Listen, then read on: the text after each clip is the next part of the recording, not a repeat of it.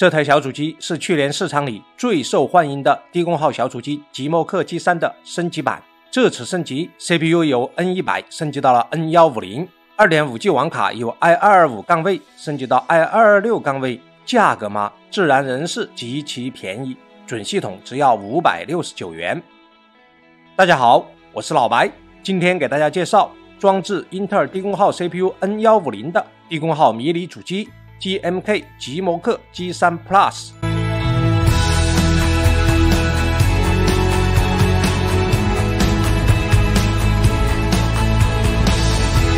照例给大家奉上。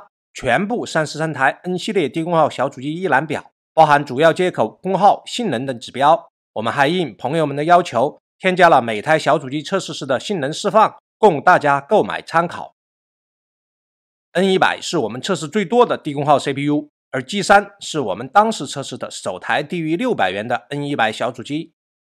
这台升级版的 G 三 Plus 定价仍然保持了 G 三的水准，并稍微提升了一下 2.5G 网卡。这点我们表扬一下。以上是厂家升级的部分。那么 N 幺五零作为 N 一百的升级 CPU，到底升级了啥呢？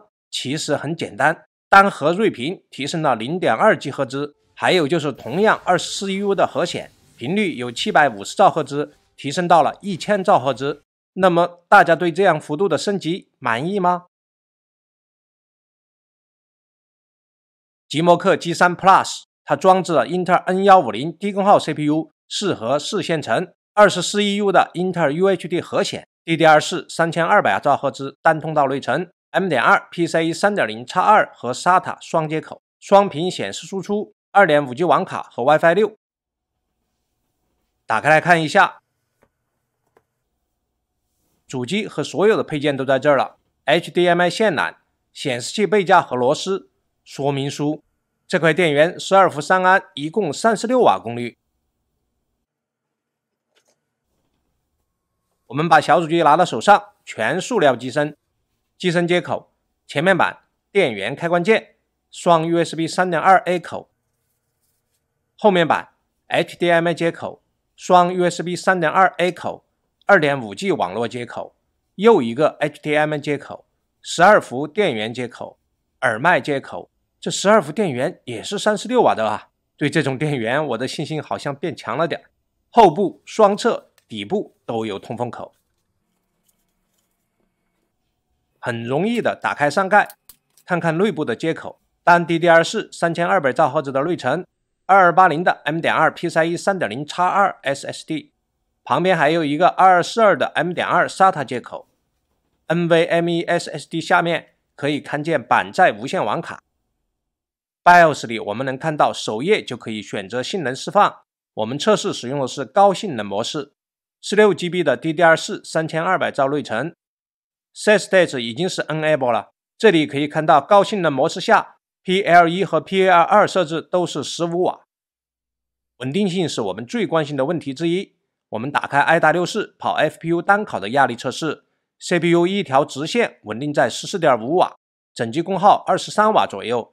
CPU 平均有效频率二点九 G 赫兹，我们一直单考了一小时零五分钟，CPU 功耗保持在十四点五瓦，室温十八度的情况下，CPU 温度最高八十二度，SSD 温度最高四十五度，这散热还不错。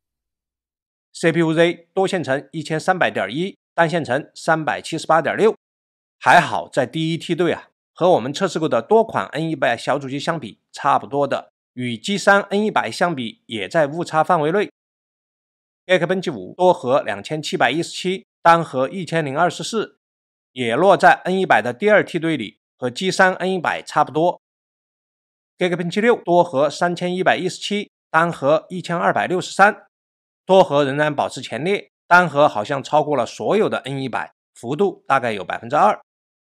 Cinebench R23 多核两千九百九十，单核九百五十三。多核成绩靠前了，单核还是超过了所有的 N 一百。Cinebench 二零二四多核一百九十三，单核六十二。在我们测试的数据里，多核靠近了 N 两百，单核比其他 N 一百都强。Passmark 多线程六千一百八十二，单线程两千一百七十二，跑上了六千一百分，不错的成绩。多核仅仅比 N 一百最高分差那么一点点，单核高出所有 N 一百百分之三到百分之五。综合上面的比较，G 三 N 幺五零是四点五瓦的性能释放，多核接近 N 一百的最好成绩，单核高于 N 一百的最好成绩，高的不多，也就百分之二到百分之五。接着看娱乐大师总分四十四万一千一百七十六，CPU 得分十八万一千一百四十三。我们还给 N 一百运行了 OpenW 测试，AES 五十四万六千三百四十四，叉叉二零三十万八千三百七十一，CoreMark 十万零二百四十二，CoreMark 上了十万分，仅比排名第一的 N 一百最高分差了几分，屈居第二。我们来玩游戏《英雄联盟》幺零八零 P 中等画质，最后大团战最低五十多帧，能玩啊，那就行了。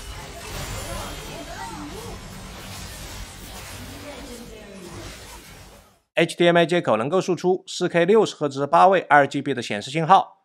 索尼 OLED 电视连接 HDMI 线缆，HDMI 接口输出 4K 60赫兹八位 RGB 显示信号。接着我们看看英特尔 UHD 核显的相对强项——视频解码，它最高能英解本地 8K 60帧 AV 视频。YouTuber 8K 60帧 AV 视频有些卡顿和丢帧。可能是驱动还没有适配好。N 幺五零播放高码率视频，我用飞流影视播放 4K 80兆码率的蓝光 Remix 文件，流畅得很。硬盘测试：PCIe 3.0 NVMe X2，一千七百多兆 B X2 就是这速度。WiFi 测试：螃蟹885 2B1 WiFi 六无线网卡跑上了七百多兆 bps，算是我的无线网络环境中不错的水平。二点五 G 网卡，我们使用 iPerf 三测试了内网性能，不论单线程上传下载还是多线程上传下载，都接近二点三五 G，跑满了带宽。这些二点五 G 网卡没有兼容性问题。极摩克 G 三 Plus 装置了低功耗 N 幺五零 CPU，四十点五瓦的性能释放。我们直接列表给大家看，整机功耗没有超过二十六瓦，待机最高功耗才六点九瓦。按这个结果。三十六瓦的电源能够搞定。室温十八度的时候，CPU 待机温度四十一度，SSD 待机温度四十度。CPU 测试满载的噪声只有三十九分贝，收回在耳边只有三十六分贝，非常安静。GMK G3 Plus 是极摩克的第一款 N 幺五零小主机，它几乎就是 G3 的翻版，除了更换 CPU 和二点五 G 网卡，十四点五瓦的功耗释放。性能发挥算是不错的，单核比 N 一百有所提高，双硬盘 M 点二 PCIe 三点零 X 二和 SATA 也算不错，散热和静音接近完美。缺点吗？但二点五 G 网口没有 USB-C 接口，兼容性一般。不过继续保持了五百六十九元的低价，值得表扬。总结一下，极摩克 G 三 Plus N 幺五零已出厂十四点五瓦的性能释放。表现和其他 N 一百的小主机相比，多核靠前，单核超出，散热和静音目前表现优秀，在绝对低的价格面前，没有啥缺点。五百六十九元，极摩克继续想和大家交朋友。好了，今天就讲到这里了，我是老白，谢谢大家的观看，再见。